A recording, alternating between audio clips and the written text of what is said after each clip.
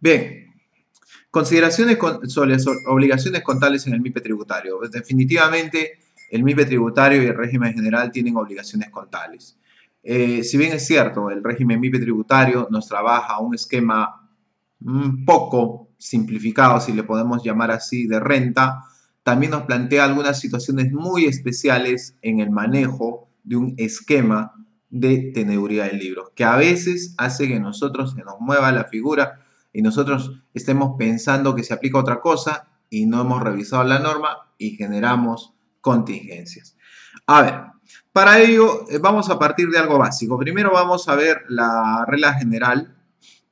Eh, acá la voy a proyectar, la regla general del tema de libros dentro del decreto legislativo y luego voy a pasar a ver el tema de... Acá está, el tema, el tema específico de, de implicancias contables. Bien, artículo 11, artículo 11, decreto legislativo 1269. ¿Ok? Listo, lo tenemos ahí, lo anotamos. Por si me dicen hay unos colegas la base legal de lo que voy a abordar. Ahí está. Bien, simplemente hacerte eh, el, ¿cómo se llama? Un recuerdo. Nosotros lamentablemente cometemos un error. No hay vinculación. No hay vinculación, ni la, ni la más ligera, entre el artículo 65 y el artículo 11, o sea, no emparejan. Hay una parte por ahí, pero decirme que el artículo 65 del texto único ordenado de la Ley General del Impuesto a la Renta, del régimen general del impuesto a la renta, que regula el tema de la contabilidad, versus el tema del MIPE tributario, que es la misma regla de arranque, ahí estás cometiendo un terrible error. Y parte de una frase, ¿ah? hay muchos colegas que lamentablemente todavía, me el grupo, estamos esperando ahí que salga una modificación. Y yo lo creo que sea muy difícil. Y va por una frase. Y no hay informe SUNAT, pensamiento por ahí, algún colega, la opinión de un colega. No, no. La norma es la norma. ¿Ya? Mira cómo está. Artículo 11. Dice, eh, los sujetos del régimen MIPE tributario deberán llevar. Y ahí me voy a detener y lo dejo marcado. ¿Qué es lo que dice específicamente? Lo que dice específicamente, quiero que lo subrayen ahí, perfecto, ahí lo tenemos subrayado también. Dice, deberán llevar. Ya. Claro, está claro, ¿no? Pero, pero yo puedo usar más libros, ¿no? Yo puedo usar más libros, me dicen, claro, yo puedo usar. No, no, no. Dice, deberán llevar. Y no te dice, deberán llevar como mínimo. ¿sí? No, no, no te entiendo. ¿A qué te estás refiriendo con ese tema? Ah, bueno, verdad, no, no lo había preparado porque no, no hay una preparación acá del, artículo 65 porque no iba a haber, pero por ahí que, a ver, mientras vamos conversando lo vamos proyectando. Mira, ahí eh, lo que tenemos es entonces que la norma del MIPE tributario nos dice que debo llevar esos libros, no me dice deberá llevar como mínimo. Em,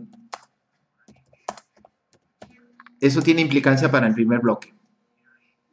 Eso tiene mucha implicancia para el primer bloque. Ok, así que vamos a... listo, ya está. Así que lo vamos a comparar. Ya acá me están apoyando con el tema de eh, mostrarles esta norma. Acá está, listo. Mira, terrible confusión. La mayoría de colegas con el artículo 65. Yo sé que hay un informe, pero ese informe no es para el MIPE. ¿Qué, dice, qué decía el, tema del MIPE? Hace un momento lo leíste seguro, ¿no? Junto conmigo. Marqué una palabra nada más. Dice, deberán llevar. ¿No? Lo leíste, deberán llevar. Ya. Pero el artículo 65, el artículo 65, el texto único ordenado a la ley de impuesto a la renta, cuando se habla de régimen general, porque estoy hablando del texto único ordenado de esta norma, hay una frase que nos dice acá, ¿qué es lo que dice la frase? Dice, deberán llevar como mínimo. Hay un cambio totalmente diferente. Deberán llevar como mínimo. Entonces, a ver, en el régimen general yo debo llevar como mínimo. Y mira qué te dice, los perceptores de rentas eh, de tercera categoría cuyos ingresos brutos anuales no superen las 300 suites deberán llevar como mínimo, llevar como mínimo un registro de ventas, un registro de compras y un libro diario en formato simplificado. Deberán llevar como mínimo, que es muy diferente, totalmente diferente, totalmente diferente a este tema. Porque en el artículo 11 eh, del decreto legislativo 1269, la norma nos dice deberán llevar. ¿Y sabes a dónde va mi comentario? Mi comentario va a lo siguiente, que resulta que cuando nosotros trabajamos el primer tramo, curiosamente el 300 suites, que es el más popular, el más común, el que, el todos manejamos, en el caso de MIPE tributario dice que debo llevar, con ingresos netos anuales hasta 300 suites, debo llevar, debo llevar, mira, te estoy diciendo, debo llevar, debo llevar qué cosa, registro de ventas, debo llevar registro de compras y debo llevar el famoso libro diario de formato simplificado.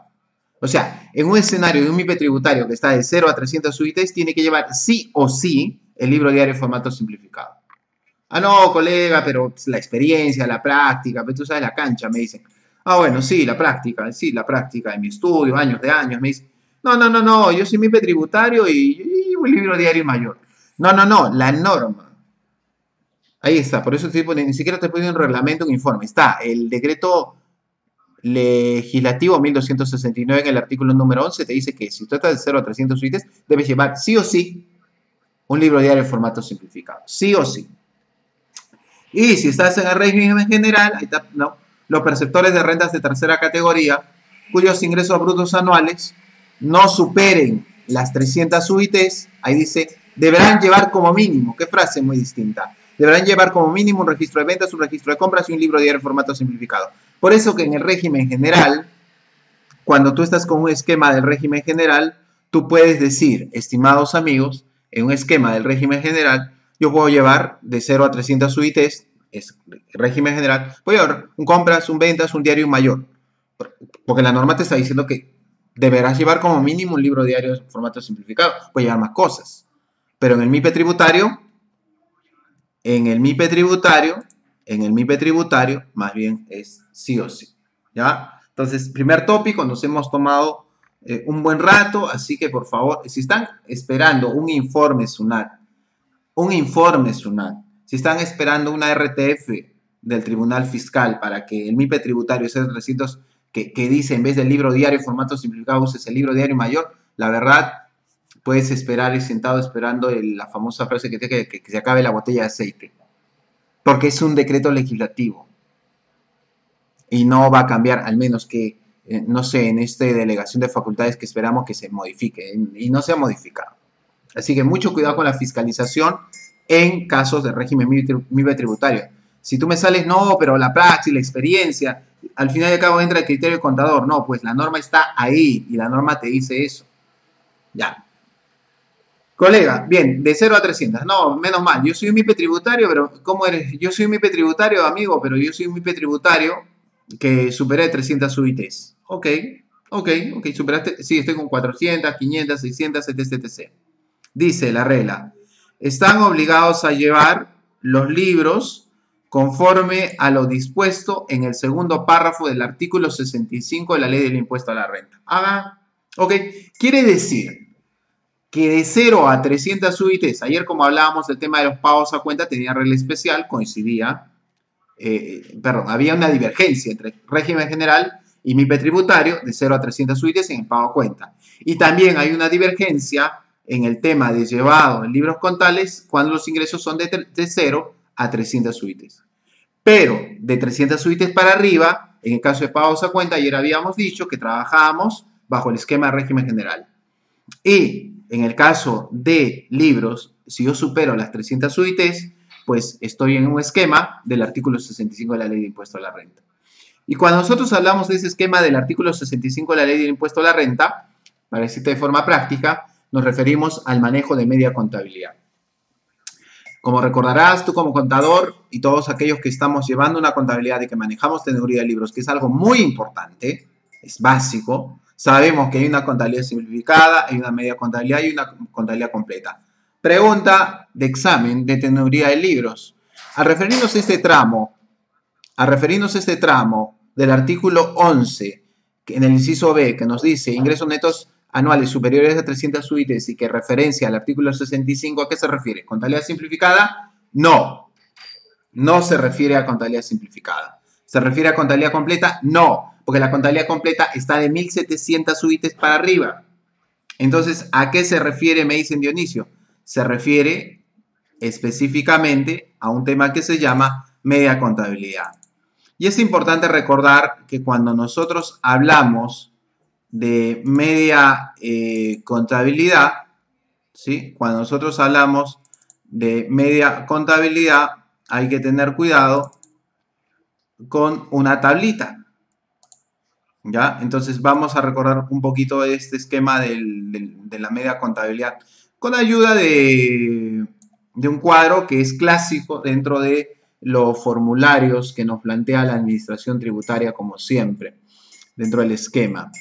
Eh, entonces, el inciso B del artículo 11 del decreto legislativo 1269 que regula el tema del MIPE tributario, dice que en el A, ok, de 0 a 300 UITs no puedo escapar, compras, ventas, libro de formato simplificado, pero dice que de 300 UITs hasta 1700 UITs me acojo al tema del régimen general. Compartimos el esquema con MIPE tributario. Ello implica de que nosotros vamos a estar dentro de este esquema de 300 a 500 UITs y de 500 hasta 1700 UITs.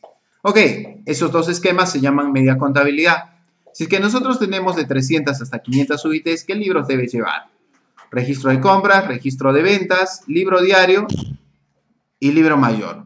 Y si tú estás de 500 a 1700 UITs, ¿qué es lo que tienes que llevar? registro de compras, registro de ventas, libro diario, libro mayor y libro de inventarios y balances. Y de ahí seguramente, con este gráfico voy a comentártelo, viene la pregunta del millón. Y la pregunta del millón que todo contador debe saber responderla. No sé si a usted le ha, tocado alguna vez esta pregunta o si alguna vez a lo mejor el practicante con el cual usted está o usted es, eh, eh, eh, es asistente contable, le planteó la pregunta a su jefe y su jefe se quedó ahí rascando la cabeza por una sencilla razón dice, colega, yo estoy en el, en el régimen general. Vamos a régimen general por un momento. Repito, vamos a régimen general por un momento. Una empresa en un año tuvo 200 UITs, ok, contabilidad simplificada. Luego al siguiente año llegó a 400 UITs, media contabilidad primer tramo. Luego de ahí subió a, a 1000 UITs, allá, media contabilidad segundo tramo. Y de ahí, ¿sabes qué? Subió a 2000 UITs, ya bueno, lleva contabilidad completa. Ya, y al siguiente año, ¿sabes? Baja una UIT. Baja una UIT de ingreso. ¿Qué hace? Ya no lleva contabilidad completa, me dice. A ver, dime la base legal. Ese es un buen tema. Es bonito cuando sube, ¿no? Y si baja, lamentablemente la regulación en el campo de tecnología de libros es muy importante. Porque nosotros tenemos que comparar un esquema que es contabilidad física y contabilidad electrónica. Lamentablemente en contabilidad física no se reguló el tema, pero en contabilidad electrónica sí. Si uno alcanzó un rango alto con respecto a una obligación de libros electrónicos, primero te necesito libros electrónicos, así baje, así baje, así esté entre los más básicos del régimen, igual va a seguir llevando los libros.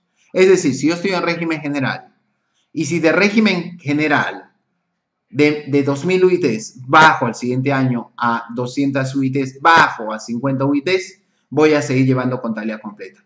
No, pues, Dionisio, no puede ser.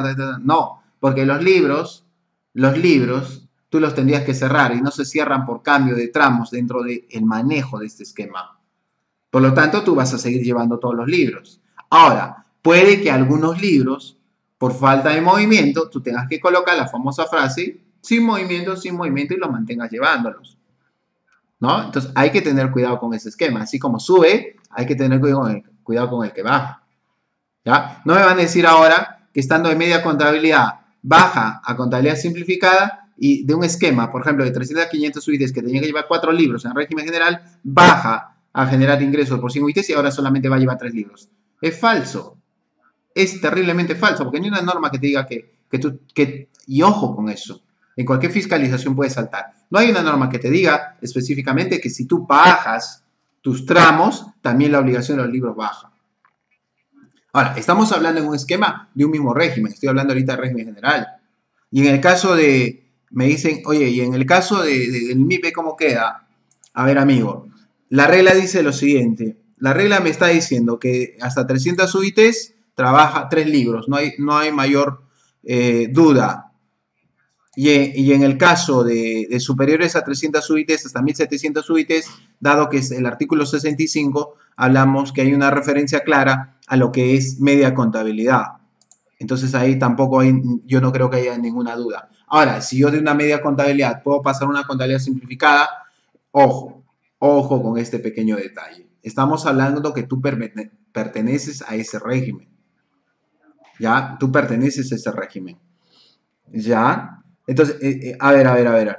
Yo estoy en el MIPE tributario y no me cambié. Ya. Resulta que en un año hice 100 OITs. ¿Ok? Ventas, compras, diario, formato simplificado.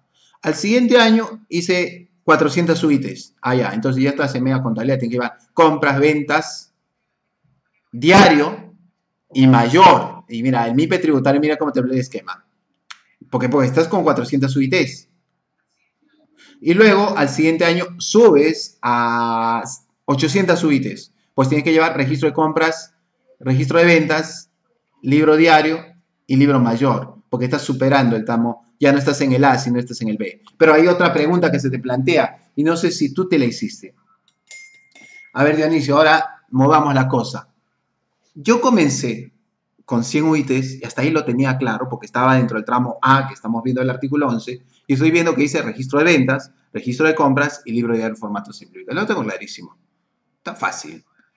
Pero ahora que al siguiente año yo subo, incremento, en ese año incremento mi número de UITs, digamos al año número 2 ya tengo 400 UITs, a partir del año 3 tendría que llevar media contabilidad, compras, ventas, diario y mayor.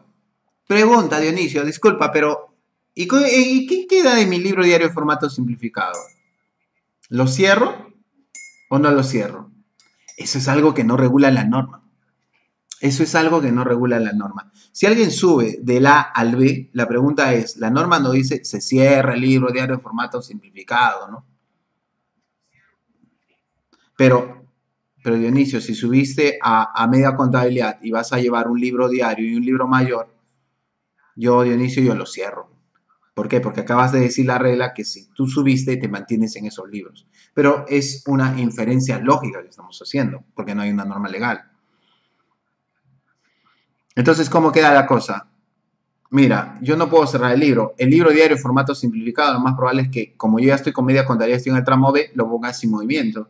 Y en el libro, libro diario y mayor ya esté llevando todas mis operaciones. Pero es porque alcancé el B. Tengo la excusa del B. Pero para aquellos que están solamente en el A y siguen en el A, van a llevar libro diario formato simplificado. No hay otra que ver. Y hay que prever con nuestro software contable cómo vamos a manejar ese tema. ¿Sí? Como tú lo verás. Y es así, mira, es aspectos básicos de teneuría que, hemos visto. Voy a ver otro tópico más ahorita.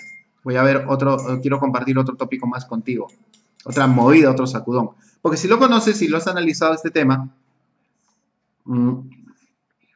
Excelente, me parece excelente.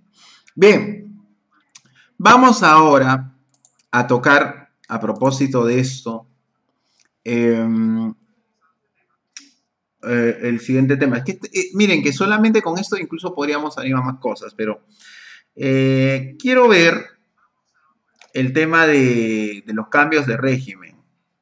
¿Sí? Los cambios de régimen y el tema contable, ¿no? Que, puede darse, ¿no? Está regulado ahí en la norma, ¿no? Que nos dice, por ejemplo, el artículo 7, el acogimiento al MIPE tributario, el cambio de régimen, ¿no? Eh, antes de ir al tema de los libros eh, y que se llama saldos de apertura, que quiero ver en el reglamento, simplemente recordarles algo. Hay una regla muy básica para los cambios de régimen. A ver, dice, primero tienes que tener claro lo siguiente, el más complejo y el más básico. ¿Ya? Acá creo que la gráfica no ayuda, así que yo necesito que me veas. Acá un poco más, empleame un poquito. Bien, ahí tengo, para, para que veas lo que voy a hacer. Mira, nosotros tenemos acá lo, siguiente. Ya, necesito, necesito que, que veas. Tenemos de lo más básico a lo más complejo. ¿Ya? Esa es una regla básica. De lo más básico a lo más complejo. Lo más básico va a ser el RUS. El siguiente nivel, el RER. El siguiente nivel, el MIPE tributario. Y el más complejo sería el régimen general. ¿Ok? ¿Tienes claro esas escalas? Ah, pues al revés, el más complejo, el general, el más, más básico, el, MIPE, eh, el, RER y el RUS. ¿ya? Esa regla es básica que tú tienes que tenerla en consideración para trabajar este tema que estamos haciendo aquí. Ya. Entonces hay algunas reglas básicas y luego veo eh, saldos para, para terminar esto, de lo que estamos comentando aquí. A ver, si un contribuyente del régimen general eh, se afecta, pasa al MIPE tributario, eso lo va a tener que hacer en enero. ¿Cierto? ¿O no es cierto? Sí. ¿Por qué? En enero. Hay una regla básica. Cuando uno cambia de lo más complejo, se va a lo más básico, siempre se puede hacer en un solo momento, en enero. No hay de otra. Pero si yo voy de lo básico a lo más complejo, es decir, voy a un nivel superior, lo puedo hacer cuando desee. Por ejemplo, cuando yo estoy en el MIPE y quiero pasar al régimen general, lo puedo hacer en cualquier mes del ejercicio. Ah, claro, porque está yendo de algo más básico a algo más complejo. Ya, otra. Si yo voy del régimen especial al MIPE tributario, ¿sí? o del MIPE tributario al régimen especial, tenga cuidado con las normas. Pero te las digo, si yo del especial me voy a ir al MIPE tributario, lo puedo hacer en cualquier mes. Pero si voy a ir del MIPE al régimen especial, tengo que hacerlo en enero. Tengo que hacerlo en enero. Igual, los contribuyentes del RUS que se acojan al MIPE tributario, cuando En cualquier mes del periodo. Y los contribuyentes del MIPE que van a pasar al RUS, ahí no. Hay que tener cuidado con enero. Ya, con enero. Bien, sí, perfecto, queda claro. Entonces, si bien estamos hablando de reglas, de normas, estamos hablando de contabilidad y de cambios de regímenes, ¿eso a dónde va? Te muestro el, eh, eh, el, reglamento del decreto legislativo 1269, vamos a proteger para ver este tema, eh, que es el decreto supremo, 403-2016 EF. Que es, que es lo que tú estás viendo aquí. Y quiero ver eh, la famosa frase de ayer que les estaba comentando en tips sobre el MIPE tributario y que les decía de que pues no se puede llevar una contabilidad de una persona natural, cómo está el tema de los saldos de apertura y cómo trabajamos ese tema. Vamos a ver. Entonces quiero tocar algunos tópicos. Eh, obligaciones contables que inciden en el tema del MIPE depreciación, castigo, valor de los activos fijos. Aquí es donde me voy a detener, en el famoso artículo 7. Ah, y quiero que se cuadre bien esto para poder trabajar. Listo. Artículo 7 del reglamento. Vamos a trabajar con esto.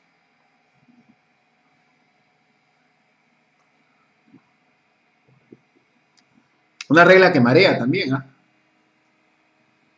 Es común, a veces usual, que algunos colegas me digan, a ver, ¿cómo se hace el, el cambio cuando alguien proviene del régimen especial o del nuevo RUS al régimen MIPE tributario? Ese es un tema bastante interesante porque, como tú sabes aquí, en el RUS no hay una, perdón, que está moviendo. Como tú sabes, en el RUS, ¿ya? En el RUS no hay contabilidad. En el MIPE tributario, si hay una contabilidad. En el RER solamente lleva registro de compras y ventas. Y en el régimen general ya la contabilidad, como tú sabes, contabilidad simplificada, media contabilidad y contabilidad completa. Pero hay un tema más importante. Si es que tú vienes de un RER o si tú vienes de un RUS al MIPE tributario, que lo puedes hacer en cualquier mes a propósito, tú ya necesitas preparar, porque tú sabes que tienes que hacer una declaración anual del impuesto a la renta, estado financiero. Bueno, ya, no le voy a decir estado financiero general, porque no solo estado financiero bajo normas internacionales de información financiera, sino simplemente son esos reportes que le llaman balance general y estado de resultados, que tú lo ves ahí en formulario virtual 710 o en el PDT 710. Pero te señala algunas cosas que la verdad que habría que echarle números. No sé, a ver si lo entienden ustedes acá. Si lo entendemos juntos, excelente. A ver, nos dice, tratándose de contribuyentes, a propósito, dice activos fijos, ¿ah? que provengan de régimen especial o del nuevo RUS, el valor de los activos fijos se calculará de la siguiente manera. A ver, a ver, a ver. ¿Tú estás viendo un caso? Sí. ¿El régimen especial? Sí. ¿Ahora va a pasar al MIPE? Sí. ¿Tiene activos fijos? Sí. Entonces hay que calcular el valor de los activos fijos. Sí, tiene una camioneta que está a nombre de, a nombre de él o a nombre de la persona jurídica. ¿Ves cómo se ordena la cosa? No, a nombre de él. ¿Vas a llevar la contabilidad de la persona natural? Sí, suerte, mi estimado amigo. Suerte, mi estimado amigo. Yo sé que rompe, es un paradigma que va a generar muchos detractores. Hay colegas que ya no me hablan, hay colegas que ya, que ya me oye Dionisio, ¿por qué no participas en todos los eventos? Una, una, creo que creo una campaña contra la contabilidad tributaria. La verdad, la contabilidad tributaria no existe. ¿Y todos los tributaristas qué hacen? están en el aire, pero, si, la tributación es la especialidad más remunerada, más pagada de todos los contadores. ¿no? O eres financiero o eres tributario, ¿no? No, lo que pasa es que hay que tener cuidado con el esquema, ¿no? La contabilidad tiene su campo y esto. Lo pueden ver en un video en YouTube que publiqué de contabilidad tributarizada. Pero ¿qué tiene que ver con esto? Mira, yo no creo que exista una contabilidad de una persona natural. ¿Por qué? Porque vas de eso que no controlabas tú, que en, un entorno RER, en un entorno RUS, que tú no controlabas los activos fijos, ahora necesitas los activos fijos. Ahora, tú dices, pero adquirió la camioneta, sí. A ver, como tengo que llevarlo a la contabilidad y probablemente me pidan eh, una carpeta con los activos fijos, entonces yo necesito ver cuándo se adquirió. A ver, traiga la factura. Y te trajo la factura. Y se adquirió ese bien hace dos años. Pregunta del millón, cuando lo vas a meter aquí a tu contabilidad del MIPE tributario, ¿la contabilidad va a entrar con depreciación o va a entrar sin depreciación? Bueno, tenemos que ver qué nos dice el artículo 7 del reglamento de este decreto supremo que estamos viendo. ¿Sí? Vamos a verlo juntos. Tratándose de contribuyentes que provengan del régimen especial o del nuevo RUS, el valor de los activos fijos se calculará de la siguiente manera. A ver, primero, se tomará en cuenta, vamos a subir un poquito esto para chequear las reglas. Dice, se tomará en cuenta... ¿Qué cosa se va a tomar en cuenta, me dices? El costo de adquisición, producción o construcción a que se refiere el artículo 20 de la ley de impuesto a la renta. Claro, que nos trabaja el concepto del costo. Bueno, el costo de adquisición, el costo de producción, el costo de adquisición hay que sustentarlo con comprobante de pago. Mm y tiene su factura. Yo veo que su factura de esa camioneta, de, ese bien, de esa camioneta que utiliza para distribuir sus mercancías, de acuerdo a su factura, está de hace dos años. a ver, pero me preocupa, ¿le meto depreciación o no? ¿Le meto? Entonces eh, habría que ver el inciso B. ¿A qué nos dice? Al costo, señalaba el inciso A, la factura, costo de adquisición con comprobante de pago totalmente válido. Ya. Se le aplicará el porcentaje anual máximo de precisión previsto en la ley del impuesto a la renta y reglamento. Ajá, ese porcentaje máximo. Ya, excelente, porque, porque todos somos campeones aplicando los porcentajes máximos. Que no, son, no significa que la depreciación se tiene que hacer. Recuerda, la depreciación que tiene que hacerse en una entidad bajo normas internacionales de información financiera no se hace en función de porcentaje, se hace en función de la estimación de la vida útil. Y tú sabes que la vida útil puede cambiar y haya que aplicar NICO 8. Bueno, acá te dice eh, al costo se le va a aplicar el porcentaje anual máximo de A. Digamos que le vas a aplicar 10%. Según el tipo de bien que se trate, tú sabes, y por los ejercicios, los ejercicios y o meses comprendidos entre su adquisición, marquemos eso. Marquemos esto. Le vamos a quitar todo porque me interesa esto. O sea, yo adquiero el bien, ya, lo adquirí hace dos años, ya, ¿qué tengo que hacer? Tengo que aplicarle la tasa de depreciación por los ejercicios y meses comprendidos entre su adquisición y el mes anterior de ingreso al MIPE tributario. Porque recuerda que si tú vienes de un RUS y un RER, al MIPE tributario lo puedes hacer en cualquier mes. Ya, bacán. Tengo que meterle la depreciación. Tengo que calcular la depreciación. O sea, cuando va a venir un bien del activo fijo a mi contabilidad del MIPE tributario que proviene del RER, que proviene del RUS, entonces va a venir con depreciación acumulada. Es decir, voy a tener que reconocer en ese asiento inicial una 33 y una 39. Ya. Ok. Luego aparece la frase, la frase que nos mueve a todos. C. El resultado de deducir el monto calculado en el inciso B, o sea, eh, ya, va acá, a qué se refiere el inciso A, será el valor del activo fijo susceptible de activación. A ver, quiero entender esta regla. Yo tengo mi costo. Ah, creo, que, creo que aquí vamos a reforzar primero la idea y luego lo llevamos a números, ¿ah? porque la verdad, no sé cómo haremos, cómo trabajaremos. A ver, vamos a reforzar las ideas teóricas para luego verlo en números. A ver, nuevamente, ¿ah? lo repito por si alguien se mareó, porque si alguien se confundió. A ver, inciso A, tomo en cuenta el costo de adquisición. Claro, a que se refiere el artículo 20 quiere decir que va a venir con mi facturita. Y yo sé que se adquirió hace dos años. Excelente. Dice que ese costo del inciso A le voy a aplicar el porcentaje anual máximo de depreciación. Digamos que yo le voy a aplicar 10%. Ahora, la depreciación la tengo que aplicar desde cuándo? Por los meses comprendidos entre su adquisición y el mes anterior al MIPE tributario. Perfecto. Ya, ahora, entonces ya tengo 33 y 39. Y ahí viene el C. ¿Qué dice C? El resultado de deducir el monto calculado en el B del costo a que se refiere el inciso A será el valor del activo fijo susceptible de activación. A ver, a ver, a ver, a ver, Dionisio, primero en teoría. Quiere decir que el valor neto que yo tengo de ese activo fijo, ahora, cuando pasa al MIPE tributario, eso va a ser el valor del activo fijo, es decir, se va a ser el neto, se va a convertir en el valor activo fijo, es lo que podemos entender. A tal efecto, el contribuyente deberá contar con la documentación sustentatoria que otorgue certeza del valor de la fecha de adquisición, producción y construcción. Ya te dije que etiquete la factura. Estos activos se deben depreciar por el tiempo restante, luego del cálculo previsto en el inciso B. Y ahí viene si superas o no la tasa. ¿Ya? Así que echamos números, ¿te parece? Sí, echamos números para poder entender mejor este esquema. Así que vamos a habilitar nuestra hojita de cálculo. ¿ya? Para cerrar este interesante tema que estamos viendo ahora en horas de la noche. Y que nos va a tomar una hora, parece la sesión, me dicen acá. No importa, unos minutos más nos quedamos viendo este interesante tema. Así como hay, hay muchas cosas ¿ah? en el ámbito contable que siempre hay que vincular. Esto no es contabilidad tributaria, ¿no? Es contabilidad. Pero, sin embargo, hay que respetar algunas reglas no la tributaria. Muy bien, entonces voy a Acá me apoyan por favor para habilitar la hoja de cálculo que la necesito ahora. Muy bien, ya tenemos nuestra hoja de cálculo. Como siempre, colegas, la hoja de cálculo, varios colegas me preguntan, ¿qué hoja de cálculo es la que utilizo? No utilizo Excel en las presentaciones. Estamos usando un software que es de uso libre.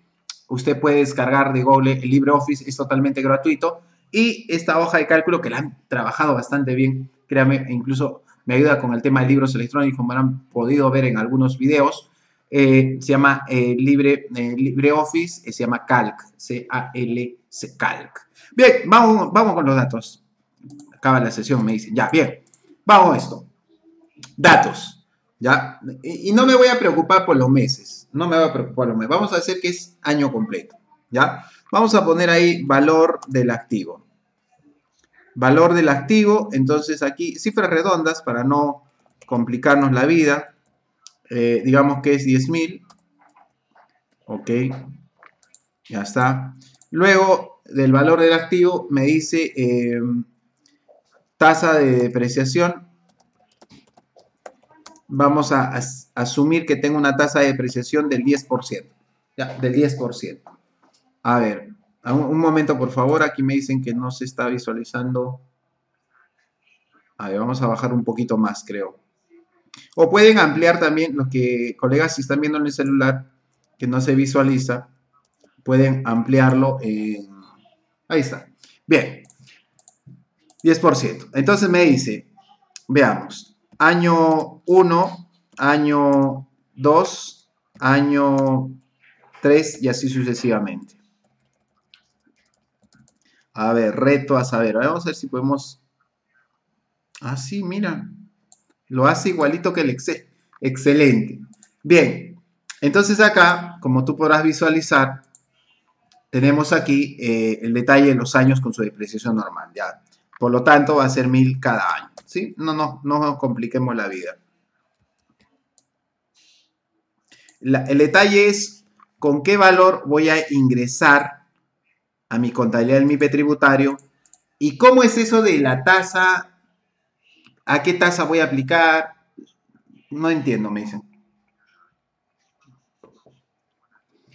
En el primer año no interesaba la depreciación, porque era un colega que estaba llevando su contabilidad en el REN. Segundo año no interesaba tampoco la depreciación. ¿Por qué no interesaba la depreciación? Porque también lo estaba llevando en el REN. A partir del año 3 pasa al régimen MIPE tributario. Y se va a mantener en el MIPE tributario el resto de años. ¿Ok? Entonces podemos marcar esto de un color para diferenciar el esquema, de acuerdo a lo que hemos visto en la norma. ¿Ok? Lo tenemos, creo, aquí claro. Excelente. Entonces, ¿cuál va a ser el valor del activo al ingreso? Entonces, valor, de aquí viene siempre la famosa contradicción. Del activo ingresa al MIPE tributario.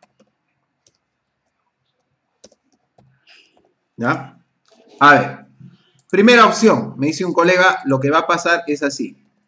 Cuenta, acá le voy a poner cuenta contable, para ver opciones, ¿no? Nada. Evaluación, me dicen. Como yo me dedico a trabajar en la actividad docente un buen tiempo y el tema de asesoría siempre me queda el tema de la evaluación. Ya, acá la 33 va con 10.000 cifras pequeñas. Un profesor que tuve hace poco me, casi me vota porque me dice que trabajo con cifras pequeñas. No, es que siempre me gustan las cifras pequeñas porque es más didáctico trabajar esto. Y como hay dos años de depreciación, creo que queda con 2000. Que eso lo puedo colocar con rojito. ¿Ok? Ya. Dice, escenario número uno. Creo que voy a reducir acá. Valor. Ya sabemos que es activo, entonces ingresa al MIPE tributario. Entonces me dicen, ¿cuál es la opción más válida? Esta de acá, ¿no? Y otra vez acá lo tomamos. Y acá me dice la cuenta y los problemas técnicos, ¿no?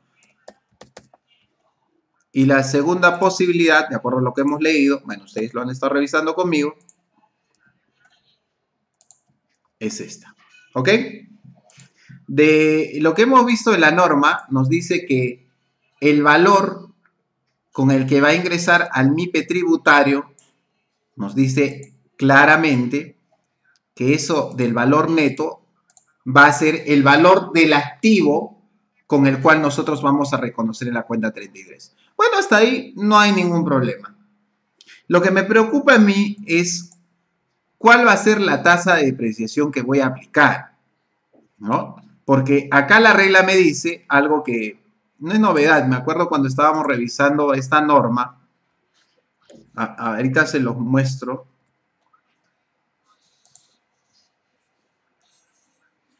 Ahorita voy a jalar el texto de acá. Estos activos se deben depreciar. A ver. A un ratito, por favor. Voy a, quería mostrar. Ah, oh, ¿Me ayudan, por favor, para mostrar con la norma? Quiero mostrar con la norma. Ya, a ver, volvamos a la presentación. De, acá está. Bien. Eh, quiero trabajar con ustedes esta última parte y quiero hacer énfasis en algo. Yo ya sé que va a entrar con 8000. Por lo tanto, esta última parte es muy, muy importante. Nos dice, estos activos se deben depreciar por el tiempo restante luego del cálculo previsto en el inciso B. Claro, después de el artículo que hemos visto nosotros, o que yo sé que tengo que depreciarlo, ¿no? Por el tiempo restante. ¿Cuánto es el tiempo restante que yo tengo aquí? El tiempo restante, Dionisio, es lo que te está quedando. Por favor, la hoja de cálculo. A ver, un momento. Ya, el tiempo restante que me está quedando es prácticamente lo que nosotros tenemos aquí con texto en color negro, que son exactamente los ocho años. Entonces la pregunta es, uno, yo ya sé que voy a depreciar por el tiempo restante. La pregunta es, ¿a qué tasa voy a depreciar? ¿Voy a depreciar a una tasa del 10% o voy a tener que depreciar por estos 8.000 que me quedan? Obviamente 8.000 y tengo que depreciar en 8 años, lo lógico es que deprecies 1000. Pero ojo, si yo voy a depreciar acá, si yo voy a depreciar cada año 1000, ¿ya? Y sé que voy a depreciar 1000, esto ya no es el 10%. Se ha incrementado, ¿no es cierto? ¿Sí? Entonces, hay que tener cuidado con este esquema. Nosotros yo sé que estamos muy acostumbrados a trabajar al borde con las tasas máximas tributarias. El tema es, un colega me dice, no, lo que va a pasar es que tú vas a seguir con los 8.000 en tu contabilidad y lo que tú vas a depreciar es por este saldo restante, a la misma tasa que está arriba. Ya, ok. Segunda posición, yo voy a depreciar estos 8.000 que está quedando por su vida restante. ¿Cuánto es su vida restante? 8 años. 8000 por 8 años, ¿cuánto es lo que voy a depreciar? 1000. ¿No es cierto? ¿Sí o no? ¿Cuál es la respuesta correcta? ¿Cuál es el interrogante? Entonces hay que tener mucho cuidado con ese tratamiento antes de sacar una conclusión. ¿Se dan cuenta del problema? No sé si los colegas que han pasado casos del RER, casos del RUS al MIPE tributario, han evaluado este tema cuando han estado trabajando su contabilidad ya bajo el escenario MIPE tributario. Dionisio, entonces, ¿qué consejo nos das? Si la regla dice que debo depreciar por el tiempo restante, lo lógico es pasar que si me falta 8 años, entonces esto lo voy a dividir, esta cuenta 33, vamos a hacer acá abajo, lo voy a dividir entre el número de años. ¿Cuánto es? 8. La pregunta es si esto que estoy haciendo tiene lógica. A ver, vamos a evaluarla a continuación revisando la norma.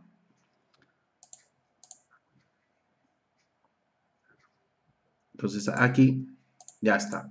A ver, colocar el, la raya acá. Listo. Entonces me dice, ¿me permite o no me permite? ¿No? A ver, ¿qué está haciendo de inicio? Está agarrando los 8000 que es el valor del activo, lo está depreciando por el tiempo restante, que es 8, y por lo tanto es 1000. Y guarda relación con la depreciación anterior. Porque ya no va a depreciar 10.000, sino 8.000, que es el valor neto. Veamos nuevamente qué nos dice la norma para cerrar este interesante tópico. Bien, cambiamos por favor. La regla que me dice, estos activos se deben depreciar por el tiempo restante luego del cálculo previsto. Entonces, yo ya sé que hay un tiempo restante porque ya se depreció dos años, entonces lo voy a depreciar por el tiempo restante. Luego del cálculo, porque yo ya he hecho un cálculo previo de dos años, lo que me falta depreciar son los ocho años. Entonces, hay que tener el debido cuidado. Y un tip importante, la norma tributaria, a excepción del caso de construcciones, todo el resto de bienes del activo fijo, lo único que hace la norma tributaria es proponernos una tasa máxima. porque en el fondo lo que nosotros debemos de hacer es algo muy, muy importante. Es determinar la vida útil de ese bien del activo fijo y de acuerdo a eso ya tenga un método línea recta o tenga un método unidades de producción, yo le asigno la depreciación a cada año. Lamentablemente, muchos colegas, sobre todo por ausencia del manejo de NIF, piensan que la tasa y está la tasa, pero no, acostumbrémonos a trabajar con la vida útil y que la depreciación varía. Es muy probable que varíe. Perfecto, por ejemplo, el tema del COVID, que vamos a ver este año, muchos colegas dicen, uy, las estimaciones van a cambiar. De hecho, y la, y la vida útil es una estimación. Y no tiene que ver para nada con el tema de la tasa. Entonces hay que tener cuidado. ¿Ok? Muy bien. Entonces eh, vamos a terminar la sesión con este tema, con este interesante tópico que les quería compartir el día de hoy.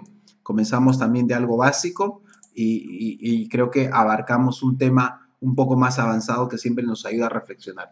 Y siempre dentro de estos regímenes aparentemente, entre comillas, fáciles, cosas sencillas. Hay cositas contables que hay que tener muy, muy en cuenta. ¿Ok? Muy bien, colegas. Simplemente el aviso, eh, estamos con eh, nuestra programación de talleres virtuales. Arrancamos todos los días martes. No se olviden. Eh, nos pueden requerir las hojas informativas. Acá Claudia se los brinda. El WhatsApp 958-672-735. Tenemos el taller virtual de contabilidad de costos, enfoque plan contable NIFI tributario. Tenemos, eh, que comienza el martes, también el taller virtual cómo registrar correctamente sus operaciones con libros electrónicos con el PLE 5.1.5.0. Y también tenemos el taller virtual aplicación de la dinámica con el Plan Contable General Empresarial modificado 2019. Y el martes también estamos aperturando un taller que ya va a salir a publicidad y todo seguramente lo van a ver, que es eh, Syscont empezamos con talleres con software contables, ¿no? No es que exclusivamente vayamos a hacer Syscon, no, vamos a hacer también de otros softwares eh, que son bastante conocidos en el mercado, pero estamos comenzando con Syscon. Toda nuestra programación vigente la pueden encontrar en www.perugestion.org. Ahí está el detalle de los talleres virtuales. Nosotros más bien en los talleres virtuales no hacemos videoconferencia, no es como esto, por una sencilla razón. Eh, hay colegas que no van a poder ingresar al mismo tiempo. Entonces trabajamos material grabado en video. Y luego las dudas o preguntas nos las plantean, nos las hacen llegar de acuerdo a la hoja de instrucciones y nosotros publicamos en un material de videos, eh, de video de preguntas y respuestas que llamamos, que llamamos eh, usualmente dentro de taller. ¿Ok? Muy bien. Entonces, eh, vamos terminando. A ver, hay un colega que me dice, entonces, no terminé el caso. ¿Y cómo quedó la depreciación? Es que lo que va a pasar, a ver, vamos con hay algunas preguntas ahí interesantes. Lo que va a pasar es que yo voy a tener que depreciar el tiempo restante. Voy a tener que depreciar el tiempo restante. Eh, por ejemplo, ahorita yo estoy viendo esos 8000, esos 8000 lo voy a tener que depreciar. Ahora, si considero que voy a trabajar con el cálculo anterior que hice original, pues voy a tener que depreciar 8000 entre 8 años, me da una depreciación anual de 1000 por cada año. Eh, no hay un buen MIPE tributario. Jorge nos pregunta un curso de MIPE tributario. No, eh, más bien el tema del MIPE tributario nosotros lo estamos ahorrando de a pocos, ya en tips. Un taller lo vemos un poco difícil que lo desarrollemos, pero hay bastante tips sobre el MIPE tributario. Vamos a estar dando bastantes tips. Tenemos el material al respecto. El saldo final, eh, claro, se va a tener que depreciar al 100%, definitivamente. Tiene que quedar en cero. Pero hay que tener debido cuidado con esa norma. Y ojo que solamente estamos refiriéndonos a una partida.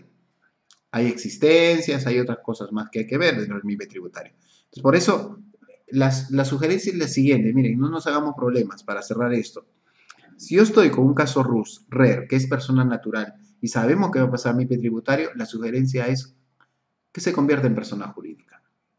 Y con eso nosotros trabajamos de manera muy sencilla, práctica, ordenamos la contabilidad y también a nuestro cliente le damos la seguridad de que su responsabilidad ya no es ilimitada. Cuando somos personas naturales, responsabilidad ilimitada. Cuando es persona eh, jurídica, la responsabilidad limitada. ¿ya? Ilimitada, ilimitada. No te olvides de ese tema.